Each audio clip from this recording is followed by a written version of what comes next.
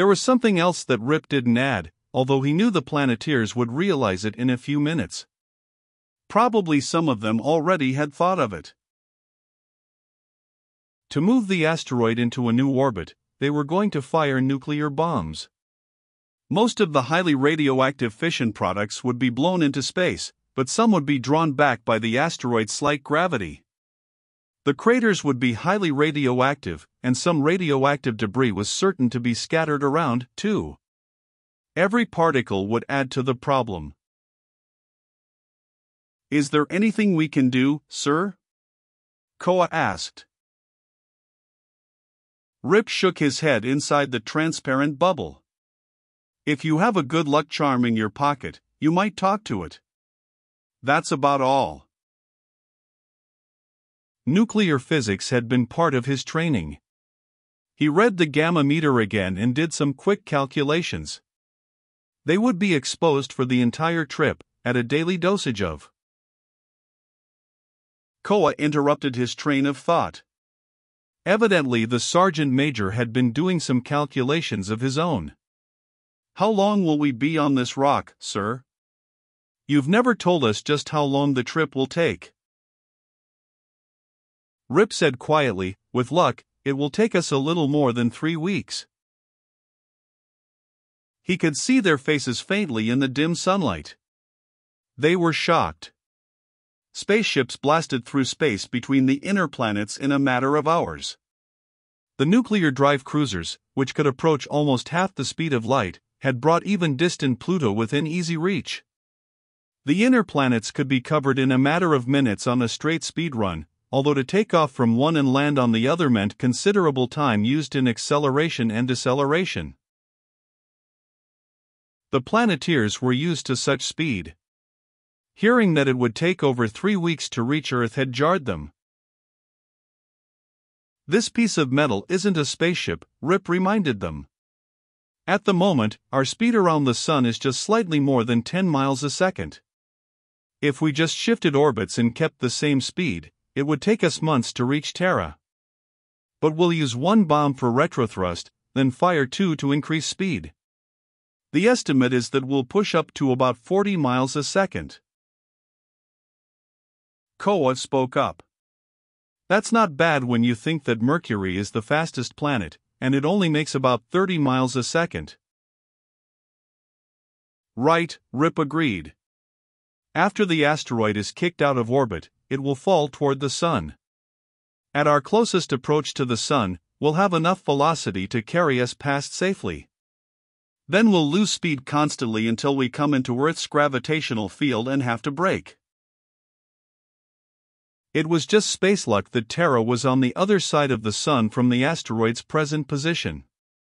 By the time they approached, it would be in a good place, just far enough from the line to the Sun to avoid changing course. Of course, Rip's planned orbit was not aiming the asteroid at Earth, but at where Earth would be at the end of the trip. That means more than three weeks of radiation, then, Corporal Santos observed. Can we take it, sir? Rip shrugged, but the gesture couldn't be seen inside his spacesuit. At the rate we're getting radiation now, plus what I estimate we'll get from the nuclear explosions, we'll get the maximum safety limit in just three weeks. That leaves us no margin, even if we risk getting radiation sickness. So we have to get shielding pretty soon. If we do, we can last the trip. Private Domenico saluted and moved forward. Sir, may I ask a question? Rip turned to face the planeteer, still worrying over the problem. He nodded and said, What is it, Domenico? Sir, I think we can't worry too much about this radiation, eh? You will think of some way to take care of it. What I want to ask, sir, is when do we let go the bombs? I do not know much about radiation, but I can set those bombs like you want them. Rip was touched by the Planeteer's faith in his ability to solve the radiation problem. That was why being an officer in the Special Order squadrons was so challenging. The men knew the kind of training their officers had, and they expected them to come up with technical solutions as the situation required. You'll have a chance to set the bombs in just a short while, he said crisply. Let's get busy. Koa, load all bombs but 110 KT on the landing boat. Stake the rest of the equipment down. While you're doing that, I'll find the spots where we plant the charges. I'll need two men now and more later. He went back to his instrument, putting the radiation problem out of his mind, a rather hard thing to do with the colorimeter glowing pink next to his shoulder. Koa detailed men to load the nuclear bombs into the landing craft, left Peterson to supervise, and then brought Santos with him to help Rip. The bombs are being put on the boat, sir, Koa reported. Fine. There isn't too much chance of the blasts setting them off, but we'll take no chances at all. Koa, I'm going to shoot a line straight out toward Alpha Centauri. You walk that way and turn on your belt light. I'll tell you which way to move. He adjusted his sighting rings while the sergeant major glided away. Moving around on a no weight world was more like skating than walking. A regular walk would have lifted Koa into space with every step. Of course, the asteroid had some gravity, but so little that it hardly mattered.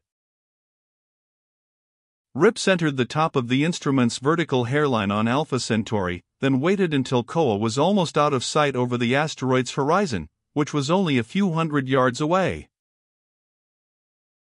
He turned up the volume on his helmet communicator. Koa, move about 10 feet to your left. Koa did so. Rip sighted past the vertical hairline at the belt light. That's a little too far. Take a small step to the right. That's good, just a few inches more, hold it. You're right in position. Stand where you are. Yes, sir. Rip turned to Santos. Stand here, Corporal. Take a sight at Koa to get your bearings, then hold position. Santos did so. Now the two lights gave Rip one of the lines he needed. He called for two more men, and Trudeau and Nunez joined him. Follow me, he directed. Rip picked up the instrument and carried it to a point 90 degrees from the line represented by Koa and Santos. He put the instrument down and zeroed it on Messier 44, the beehive star cluster in the constellation Cancer. For the second sighting star, he chose Beta Pyxis as being closest to the line he wanted, made the slight adjustments necessary to set the line of sight, since Pyxis wasn't exactly on it, then directed Trudeau into position as he had Koa. Nunez took position behind the instrument, and Rip had his crossfix. He called for Doust, then carried the instrument to the center of the cross formed by the four men. Using the instrument, he rechecked the lines from the center out. They were within a hair or two of being exactly on, and a slight error wouldn't hurt, anyway. He knew he would have to correct with rocket blasts once the asteroid was in the new orbit. X marks the spot, he told Doust. He put his toe on the place where the crosslines met. Doust used a spike to make an X in the metal ground. All set, Rip announced. You four men can move now. Let's have the cutting equipment over here, Koa. The Planeteers were all waiting for instructions now. In a few moments, the equipment was ready, fuel and oxygen bottles attached. Who's the champion torchman? Rip asked. Koa replied, Kemp is, sir. Kemp, one of the two American privates, took the torch and waited for orders. We need a hole six feet across and 20 feet deep, Rip told him. Go to it. How about direction, sir? Kemp asked. Straight down. We'll take a bearing on an overhead star when you're in a few feet. Doust inscribed a circle around the X he had made and stood back. Kemp pushed the striker button and the torch flared. Watch your eyes, he warned. The Planeteers reached for belt controls and turned the rheostats that darkened the clear bubbles electronically. Kemp adjusted his flame until it was blue white, a knife of fire brighter by far than the light of the sun at this distance. Koa stepped behind Kemp and leaned against his back, because the flame of the torch was like an exhaust, driving Kemp backward. Kemp bent down, and the torch sliced into the metal of the asteroid like a hot knife into ice. The metal splintered a little as the heat raised it instantly from almost absolute zero to many thousands of degrees. When the circle was completed, Kemp adjusted his torch again, and the flame lengthened. He moved inside the circle and cut at an angle toward the perimeter. His control was quick and certain. In a moment he stood aside, and Koa lifted out a perfect ring of thorium. It varied from a knife edge on the inner side to 18 inches on the outer side. In the middle of the circle there was now a cone of metal. Kemp cut around it, the torch angling toward the center. A piece shaped like two cones set base to base came free. Since the metal cooled in the bitter chill of space almost as fast as Kemp could cut it, there was no heat to worry about. Alternately cutting from the outside and the center of the hole, Kemp worked his way downward until his head was below ground level. Rip called a halt. Kemp gave a little jump and floated straight upward. Koa caught him and swung him to one side. Rip stepped into the hole, and Santos gave him a slight push to send him to the bottom. Rip knelt and sighted upward. Kemp had done a good job. The star Rip had chosen as a guide was straight overhead. He bounced out of the hole, and, as Koa caught him, he told Kemp to go ahead. Domenico, here's your chance. Get tools and wire. Find a timer and connect up the 10 kiloton bomb. Nunez, bring it here while Domenico gets what he needs. Kemp was burning his way into the asteroid at a good rate. Every few moments he pushed another circle or spindle of thorium out of the hole.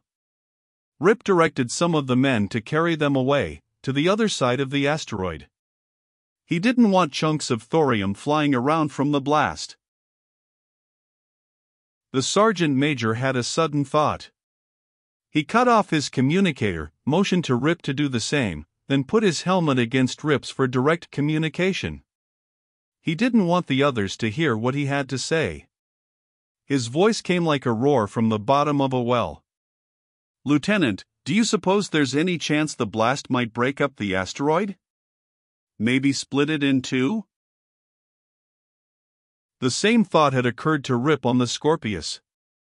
His calculations had showed that the metal would do little more than compress, except where it melted from the terrific heat of the bomb.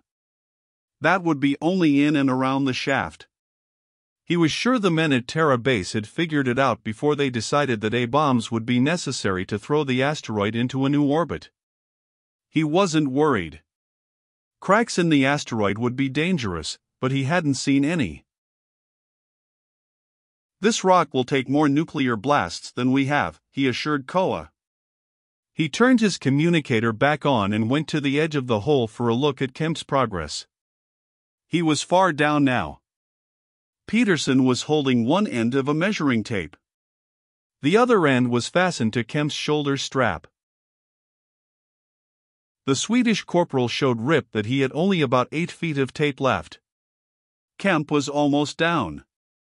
Rip called, Kemp, when you reach bottom, cut toward the center. Leave an inverted cone. Got it, sir. Be up in two more cuts.